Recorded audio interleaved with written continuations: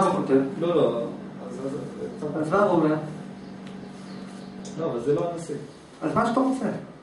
הנושא היה בזה. מדבר, גם וגם. טוב, נו, דבר.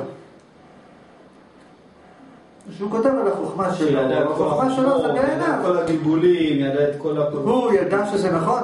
שהוא אומר, אני יודע שאתה גלגול, יודע שזה גלגול. והוא יודע שזה נכון?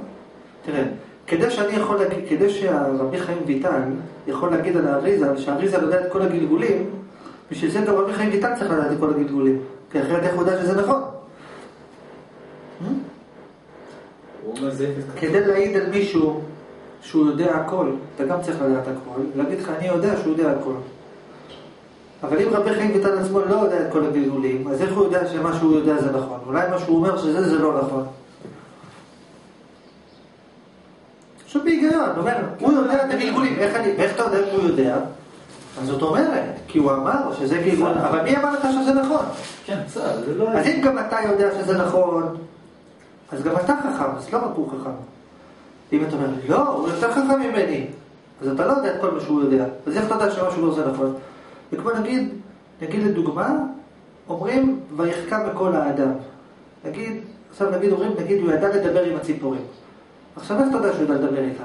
מה, אתה, אתה מבין מה הם מדברים? אולי, אולי, אולי, אולי הוא רק מעיף אותם. איך אתה יודע שהוא מדבר איתם? כדי שאתה תדע שהוא מדבר איתם, אתה צריך לדעת מה הוא מדבר איתם, ולראות שהם עונים לו, ולראות שהם מדברים. אחרת אתה יודע שהוא מדבר איתם. זה לא חכמים כל כך. אבל אני לא מבין, זה כדי להעריך... למה אומרים חכמינו זיכרונם לברכה? למה לא אומרים חכמינו? כאילו לא חכמינו. זיכרונם לברכה. כאילו אומרים אחרי שבן אדם מת, אל תגיד רק דברים טובים. אומרים טוב, הוא כבר מת, אז זיכרונם לברכה. לא חכמים כל כך, לא חכמים. כדי להעיד על בן אדם שהוא חכם, אתה צריך להיות חכם יותר ממנו. מה מסופר על פרעה ויוסף? שהוא אמר לו, אני ידעתי כי אין בכל ארץ מצרים איש חכם כמוך, נכון? מה אומרים? למה, למה רק פרעה יכל להגיד שיוסף הכי חכם בכל מצרים? היה יותר חכם ממנו. הוא ידע 80 שפות, הוא ידע 70 שפות. כלומר, אני יודע שאתה הכי חכם. כי אני יודע יותר, אתה מבין? אבל אם אתה יודע פחות, אז איך אתה יודע שהוא הכי חכם? לא, אז אני רוצה לשאול. כן. אז אז אף פעם אתה לא יכול להעריך מישהו יותר ממך? בדיוק מאותו סיבה שאתה לא יכול לדעת אם השכל בסוף הוא חוכמה או שיגעון. לא, אתה לא יכול לדעת בצורה מוחלטת, אבל לפני יחסי כן אתה יכול לדעת. כן, איך אתה יכול לדעת? לפי מה? יחסי למה? באופן יחסי למה שאתה חושב, זה חכם, זה שיגעון, אבל מי אמר שמה שאתה חושב זה נכון? אולי מה שאתה חושב זה הכל בלבול מוח? לא הבנתי. אני מנסה להבין מספר דברים נגיד. דרך אגב, אם כבר מדברים על גלגולים, מי מומחה לגלגולים מספר אחד? אני. למה? ברמה הטכנית, אני המומחה מספר אחד בעולם לגלגולים. מה זה גלגולים? איך משהו יתגלגל למשהו, יתגלגל למשהו, יתגלגל למשהו, עד לפה, נכון? עכשיו, הקבלה, היא יודעת איך הוא יתגלגל עד האדם הראשון. אני יודע איך מאלוהים יתגלגל המשפט שהוא אמר. זה מהשכל הזה, מהשכל הזה, מהשכל הזה, מהשכל הזה, מהשכל הזה, מהשכל הזה, אין אחד. את כל הזכנים בעולם אני רואה את כל, את כל הצינורות. זה צינורות השפע, הנה, מפה, מפה, את כל הנתיבים. אני מוכן לגלגולים, אבל אני גם מוכיח את זה, אני לא אומר לך...